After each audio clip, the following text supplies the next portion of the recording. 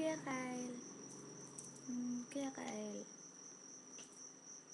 Wala akong masyadong masabi ngayon.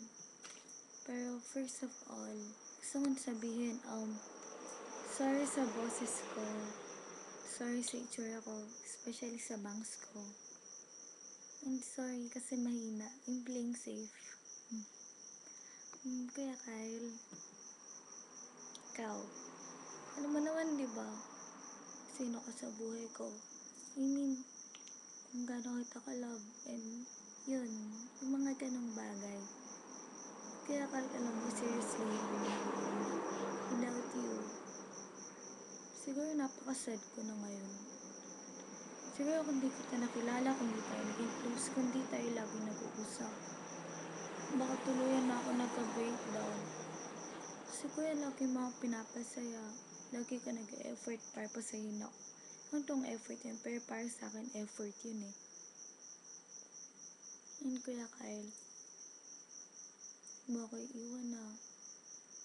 Kasi, na, lahat na sila iniwan ako. I hope ikaw di mo ako iiwan kasi don't know if I can do it anymore without you. Kuya, totoo yun. Kasi kuya, I love you that much. No, no, no, no, no, suddenly, feel ko to bigla. Hindi ko alam kung bakit, pero kuya, trust me, yung heart ko kasi nagsasabi. Kaya kaya, don't know if mahaba pa tong video, sorry.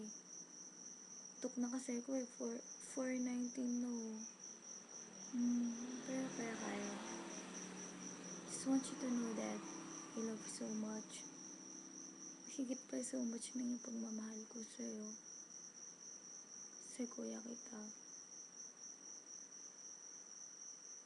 Kaya kaya yun lang.